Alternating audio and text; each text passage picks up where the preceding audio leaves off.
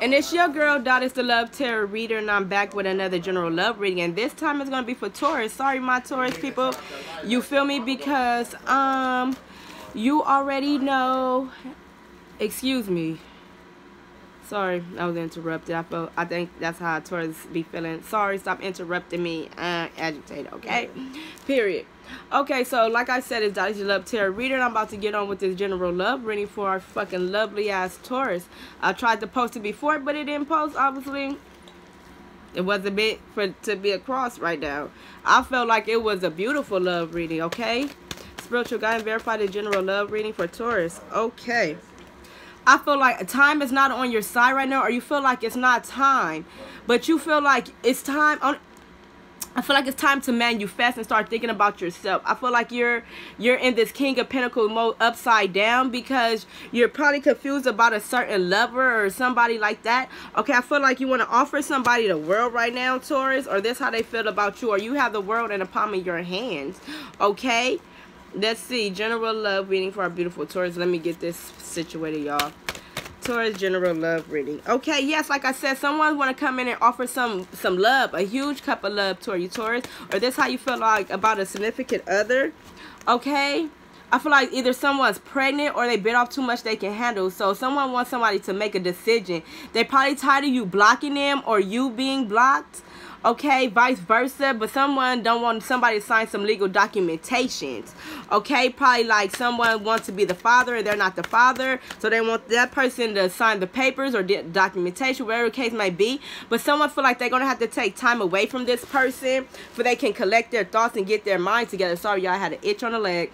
Shit somebody itching up my leg. It's itching on my leg okay yes somebody was being sneaky and you feel like you have to let this someone go or this how this person felt about you taurus.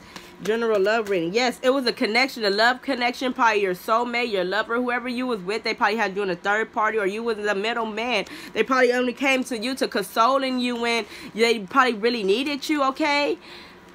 Okay they you felt like you was probably being used taurus or this is how you feeling okay but at the end of the day, somebody trying to come in and rebuild because this person make them happy or you're trying to make yourself happy. You got to rebuild this shit, okay? Yeah, somebody being manipulative, okay? They were putting they were being very manipulative being sneaky trying to bribe you okay taurus? They was bribing you or that's how you feel okay? You don't want to even you don't even want to accept no offer or gift to this person. I feel like you gave to this person. It could have been a, a mother of your child or some type of mother figure okay? But you got to start focus on your health or you want this person to focus on their health and bettering itself. Then you either want them to choose between you or somebody or a job opportunity because you feel like when you're all together y'all can manifest like this is a partnership that can probably last forever. Y'all can get money together, okay? When you with this person, you probably manifest. It's like a big offer is coming in, Taurus. I don't know what's going on in y'all world today, but I hope it's resonating, my loved ones. Okay, spiritual guidance. Okay, that one popped out. I'm going to take them.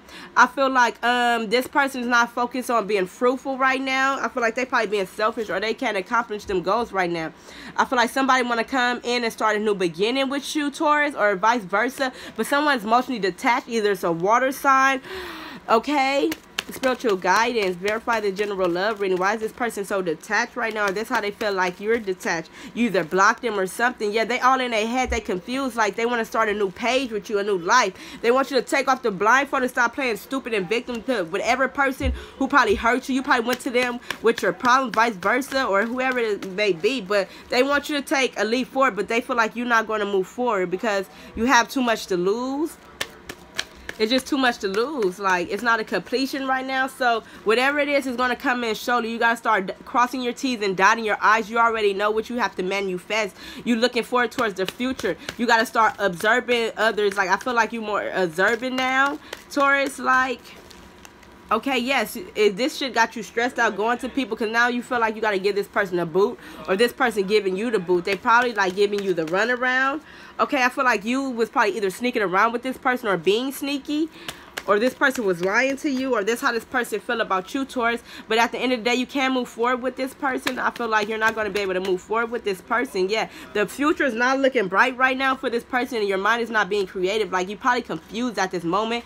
You got the Aquarius in here. You got Aquarius sign. Like you probably chasing after someone younger or they was chasing after someone younger. Now it's like damn like where's you going? Like why is you emptying out the cup of love that I'm pouring into you? Like I'm trying to give you all your love. Now this person got to start thinking logically for themselves you can no longer pat them on the back like period. So new opportunities coming in probably with a job or some type of